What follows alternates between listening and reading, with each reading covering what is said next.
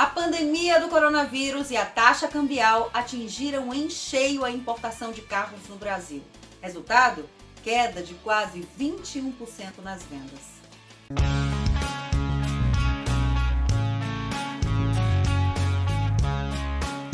As 15 marcas filiadas à ABEIFA, Associação Brasileira das Empresas Importadoras e Fabricantes de Veículos Automotores, com licenciamento de cerca de 59 mil unidades, tiveram em 2020 uma queda de quase 13%. Desse total, cerca de 27.500 carros foram importados e um pouco mais de 31.600 veículos de produção nacional.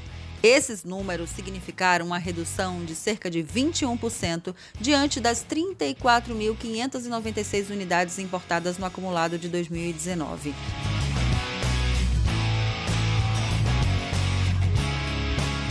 Enquanto na produção nacional, com 31.646 unidades, a queda foi de apenas 4,4%. Pela primeira vez, a produção nacional das associadas à BEIFA superou a totalização de veículos importados que tiveram impacto negativo e direto da taxa cambial. A cotação do dólar partiu de, na média mensal, R$ 4,15 em janeiro de 2020 para R$ 5,14 em dezembro passado, alta de cerca de 24%.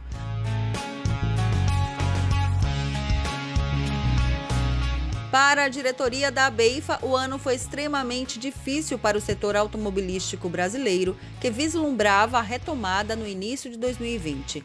Ainda segundo a entidade, como em todas as demais atividades econômicas, o impacto da pandemia de Covid-19 a partir da segunda quinzena de março foi devastador. Aliado a essa nova realidade, o setor ainda sentiu as consequências nefastas da desvalorização cambial.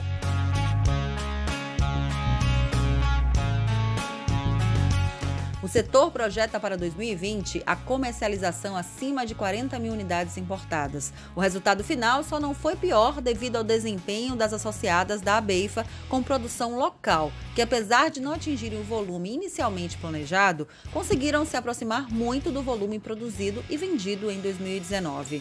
No comparativo mensal, dezembro de 2020 registrou queda de cerca de 28% em relação ao igual período de 2019.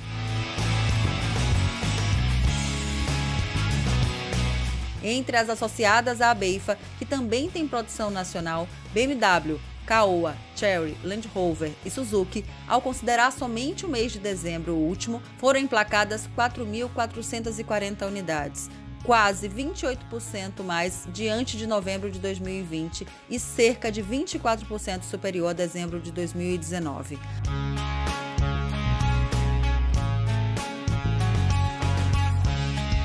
Para 2021, a BEIF estima emplacar entre importados e produção nacional 68 mil unidades, crescimento de 15% sobre os dados de emplacamentos de 2020. Em dezembro último, com cerca de 6.900 unidades licenciadas, a participação das associadas à BEIFA foi de quase 3% do mercado total de autos e comerciais leves.